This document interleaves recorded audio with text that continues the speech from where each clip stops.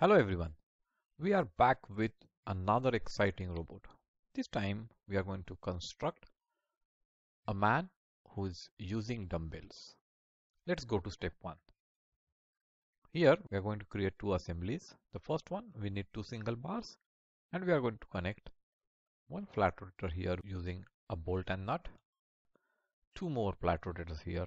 Each of them is connected with one nut and bolt, giving us one free circular hole.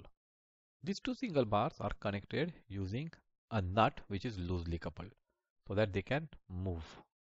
And we are going to connect one L connector at this end. We have created one more similar assembly here.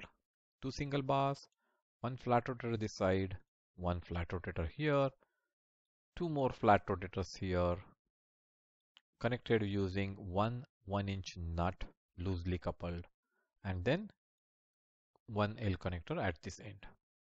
Here the nut bolts all heads are up and tails are pointing down whereas here the tails are up and the heads are below. Look that L connector is pointing down here it's, it's pointing up here.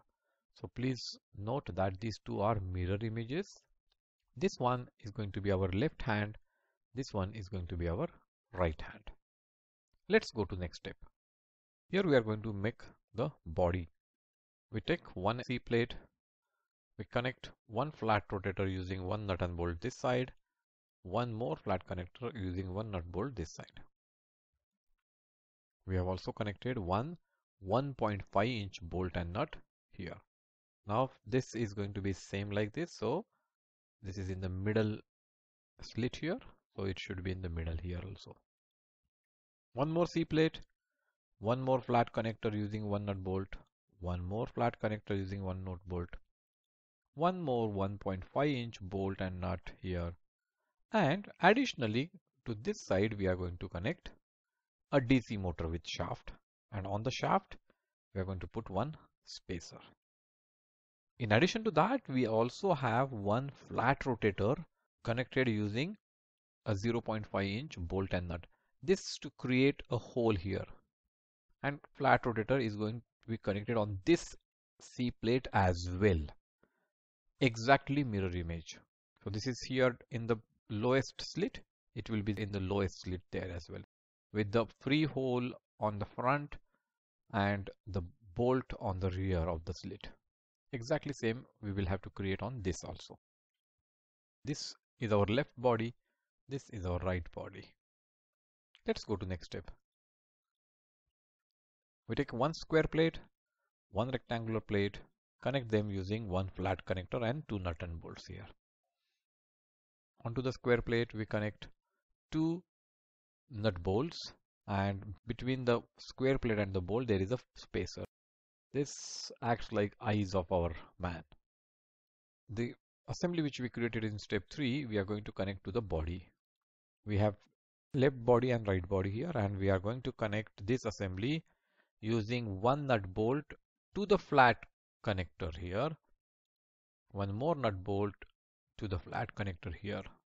We are not going to connect these nut bolts right now. We are going to leave them as it is. These are legs.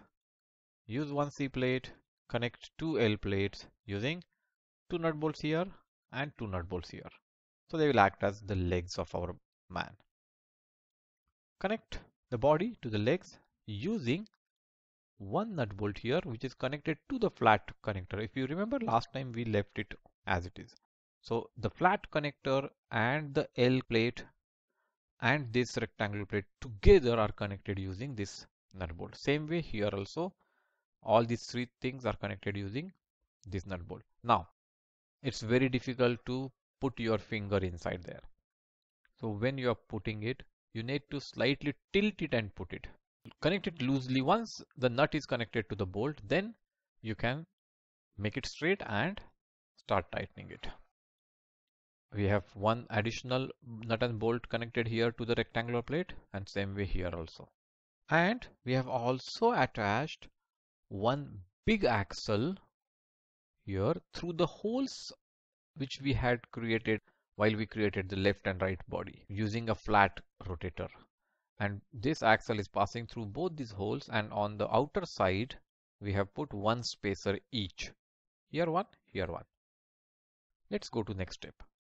Since it employs oscillatory motion what we need is an earth point and most probably we use a big gear and 1.5 inch bolt and nut tightly connected to the big gear to create the earth point. and on that bolt we have put one spacer and one shaft lock this one we are going to attach here and we are going to make one more such assembly and going to connect it this side and put one shaft lock both sides to secure them at the place. We also connect a medium gear on the motor shaft and lock it with a shaft lock. Now we connect hands. Right hand this side connected to the earth point using a nut loosely coupled and to the fulcrum point another nut loosely coupled. On the fulcrum point we have put two spacers. You might need to use two spacers, one hub or one spacer, one hub. That depends upon the distance what you need here. Similarly on this side left hand is connected using one nut loosely coupled on earth point, one nut loosely coupled on the fulcrum point and that finishes the assembly. Now what is remaining is attaching the props. We have cut dumbbells from the corrugated sheet and we have attached them to the hand. I am sure you will like this robot. Do write about your experiences of making this robot in the comment section below. And as always, wait for the next robot.